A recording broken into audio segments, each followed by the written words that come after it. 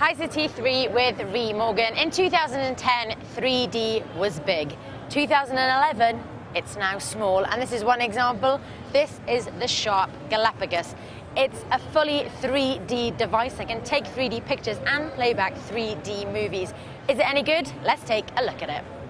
Sharp will be releasing two 3D Android handsets for Japan's SoftBank network this year the Sharp Galapagos 003SH and the 005SH. Neither will require you to wear those silly little specs for 3D effect. We spotted both at this year's CES in Las Vegas.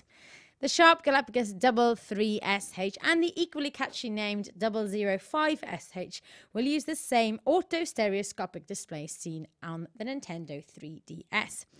The touchscreen Slate 003 seen here in the video has a 9.6 megapixel camera with a 720p video, while the QWERTY sliding 005 only has an 8 megapixel camera. No word on video capture yet.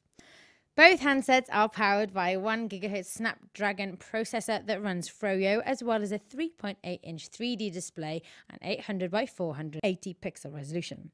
The clever part comes when we discover that both phones can, in fact, not only play back 3D images, but can also take 3D pics.